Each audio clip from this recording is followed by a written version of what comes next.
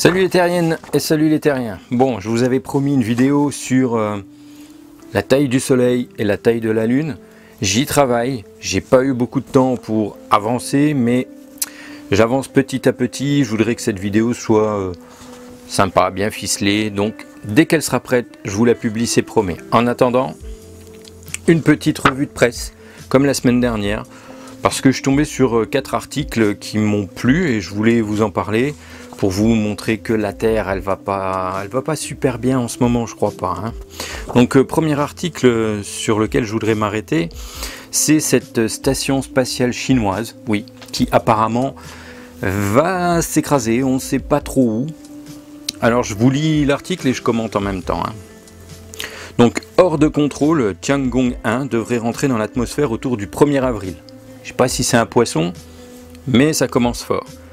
De la taille d'un bus, il n'est pas impossible qu'elle se crache en France. Alors, la probabilité est quand même très petite. Hein Rassurez-vous, ce risque reste toutefois extrêmement faible. Heureusement qu'ils nous le disent. Quand et surtout où va retomber l'ancienne station spatiale chinoise Tiangong 1 La question obsède depuis quelques semaines toutes les agences spatiales de la planète. Et euh, petite remarque, là c'est pas la NASA, hein c'est l'agence euh, chinoise. Rien à voir avec la NASA. Hein. Donc euh, lancé en 2011, le Palais Céleste est hors de contrôle depuis le mois de mars 2016. L'engin de 8 tonnes quand même, hein, gros comme un autobus, va bientôt rentrer dans l'atmosphère avec la possibilité que des débris puissent arriver jusqu'au sol. Les dernières estimations du centre de contrôle de l'Agence spatiale européenne, l'ESA en Allemagne, annoncent une retombée sur Terre autour du 1er avril à plus ou moins deux jours près. Euh, le radar allemand TIRA de l'Institut Fraunhofer, près de Bonn, a réussi à faire les premières images de la station cette semaine, pourtant encore à une altitude de 270 km. Une prouesse réalisée grâce à une antenne gigantesque de 34 mètres de diamètre. Ces clichés étonnants montrent que l'installation est encore intacte. On distingue notamment très bien les antennes et les panneaux solaires. Et euh, ce n'est pas euh, une surprise à cette altitude. Hein. Les éléments extérieurs comme les panneaux vont commencer à se casser à partir de 150 mètres d'altitude, là où il y aura plus de force de frottement euh, de l'atmosphère. Donc où elle va tomber, on nous précise que ben, ça peut être entre le 43e, la latitude 43 degrés nord ou la latitude 43 degrés sud. Donc pour vous dire, ça va ben, effectivement du sud de la France, ça passe au-dessus de l'équateur et ça descend au niveau du sud de l'Australie.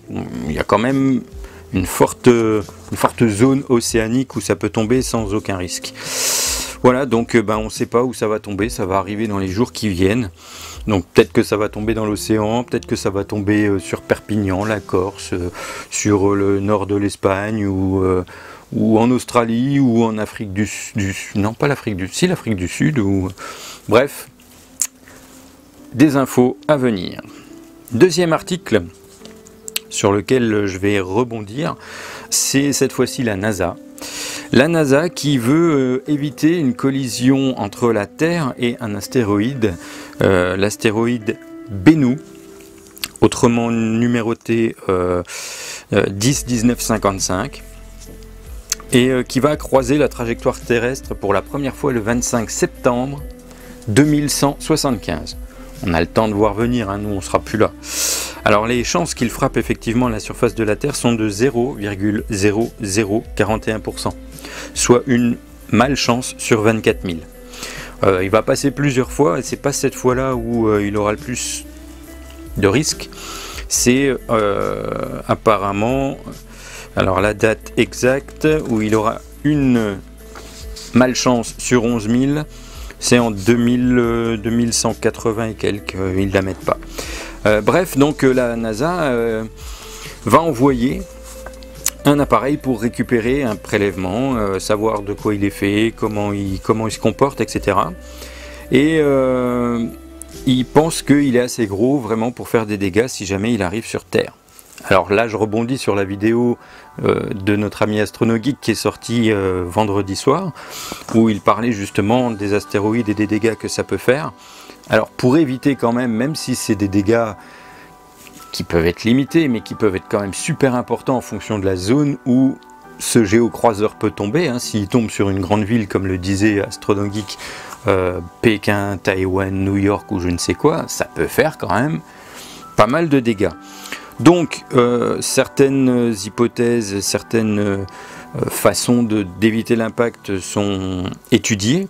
Donc il y a bien sûr envoyer un impacteur, pouf, lui faire dévier sa trajectoire par une, une force venant de l'extérieur, une explosion nucléaire éventuellement. voilà, donc mais ils ont pensé, la NASA vient de penser à un nouveau euh, système qui s'appelle le ripollinage. Donc le ripollinage, c'est euh, changer les propriétés thermiques du corps céleste. Alors pourquoi? Euh, la, rotation de, ces géocroiseurs, hein, de tout objet sur lui-même, provoque la restitution de l'énergie solaire émise sous forme de rayonnement infrarouge dans une direction qui modifie lentement sa trajectoire. Donc c'est à cause de cet effet qu'on ne sait pas trop où il va aller exactement. Et donc ils se sont dit, bah tiens, il faudrait qu'on change les propriétés thermiques de ce géocroiseur. Et comment ils pensent le faire? Eh bien en le peignant. Oui, ils veulent le peindre. Alors peindre ne serait-ce que la moitié, éventuellement la, la totalité de la surface s'ils peuvent, changerait les propriétés thermiques et donc changerait son orbite et donc pourrait éventuellement faire qu'il évite la Terre. Alors j'espère qu'ils calculent correctement parce que si jamais ils le font aller dans l'autre sens et que finalement ils percutent la Terre alors qu'ils n'auraient pas dû, ils vont un petit peu avoir les boules. Mais bon, je fais confiance à la NASA. Bah oui, c'est normal. C'est mon patron, n'est-ce pas les platistes? Bon. Troisième article qui m'a très intéressé euh, cette semaine, c'est, euh, je ne sais pas si vous avez déjà entendu parler de cette petite momie extraterrestre, soi-disant, qu'on appelle Atta. Eh bien, euh, ce petit extraterrestre, finalement, n'en est pas un du tout. donc, on avait déjà examiné l'ADN et on avait bien vu que c'était de l'ADN humain. Donc, ce n'était pas un extraterrestre. Mais là, il y a eu donc des, des études supplémentaires qui ont déterminé qu'en fait c'était une fille en plus et que euh, il se peut fortement que ce soit un, prématuré en fait, une fausse couche, donc euh, très prématuré.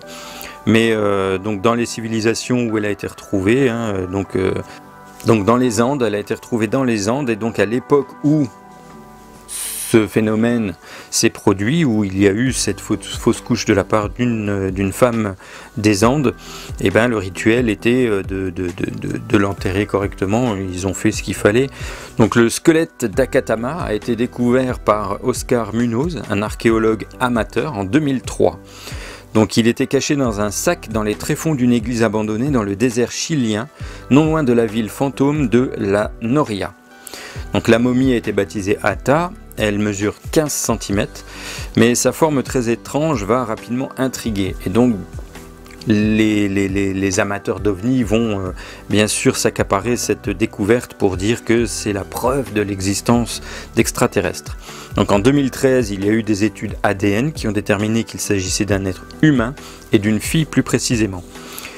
Donc une nouvelle étude vient de montrer que la petite fille originaire des Andes souffrait en réalité d'une accumulation rarement vue de rares malformations congénitales et la présence non loin d'une mine de salpêtre pourrait en être la cause, pensent ces experts.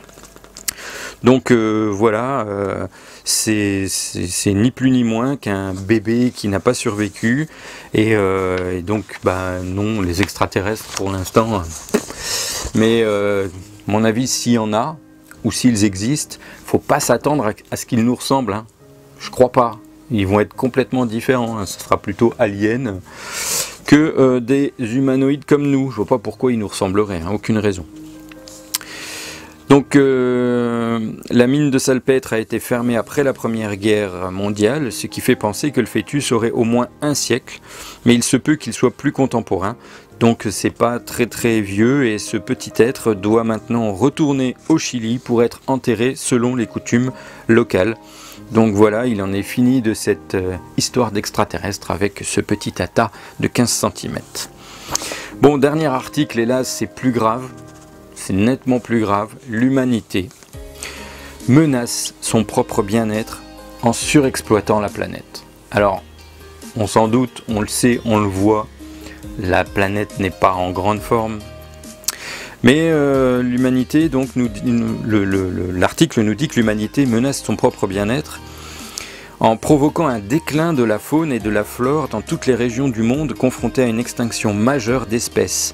Et là, c'est pareil, je rejoins ce qu'a dit euh, Astronogeek dans sa dernière vidéo. Effectivement, nous sommes en train de faire disparaître bon nombre d'espèces et c'est à cause de l'activité humaine malheureusement.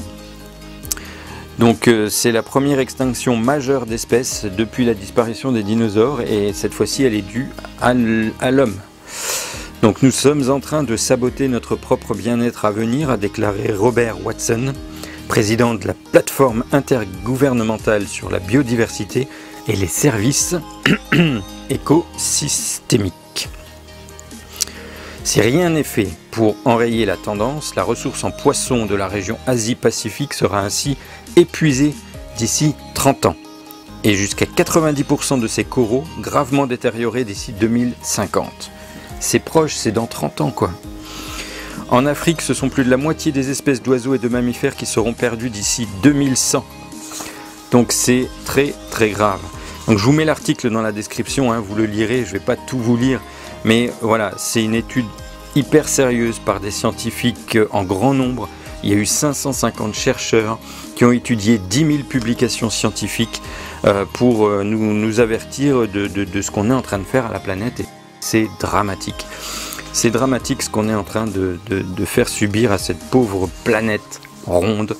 Et euh, problème, c'est que bah, c'est nous qui allons morfler, quoi, parce que euh, on gaspille environ 40% de la nourriture qu'on produit. Et euh, ne serait-ce qu'en réduisant ce gaspillage, euh, ben, on pourrait éviter de doubler la production dans les 50 prochaines années et essayer de réduire ce, désastre. Donc si on continue ainsi, oui, c'est la sixième extinction, la première causée par les humains, qui va se poursuivre, nous dit Monsieur Watson. Ajoutez que la bonne nouvelle, il y en a une, c'est qu'il n'est pas trop tard, on peut encore faire marche arrière. Bon, mais avec des gens comme Trump, euh, à la tête des États-Unis, je pense qu'on est mal barré. Donc bon voilà, euh, excusez-moi si j'ai un peu bafouillé, si j'ai pas mis toutes les choses dans le bon ordre. Euh, j'ai pas eu trop trop trop de temps pour préparer cette vidéo, je vous la fais vite fait sur le pouce pour ne pas que vous soyez sans nouvelle du châssis et euh, donc je vais essayer de continuer ma vidéo sur la taille du soleil et de la lune. Dès qu'elle sera prête ne vous inquiétez pas vous le verrez vous serez prévenu à condition de cocher la petite cloche pour être prévenu par une notification dès qu'une de mes vidéos est publiée. Je vous laisse pour cette semaine. Le week-end est déjà bien entamé je n'aurai pas le temps de faire une autre vidéo et euh, donc je vous souhaite une bonne fin de week-end, une bonne semaine. N'oubliez pas l'abonnement, le like, Tipeee, Spreadshirt. Merci à ceux qui commandent des, t-shirts à ceux qui me font un don sur Tipeee. Et puis eh ben, je vous dis à bientôt. Et puis euh, n'oubliez pas, comme d'habitude, faites tourner. Ciao les terriennes et ciao les terriens.